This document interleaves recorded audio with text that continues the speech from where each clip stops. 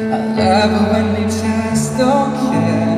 I love it when we dance like there's nobody there. So when it gets hard, don't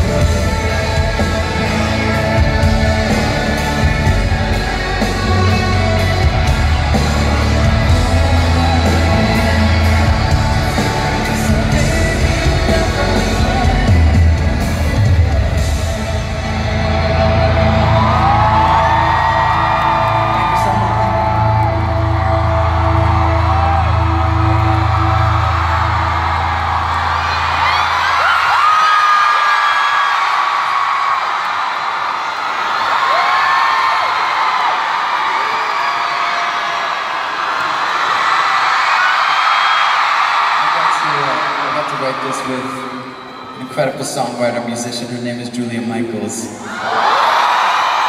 uh, this is called Like to Be You.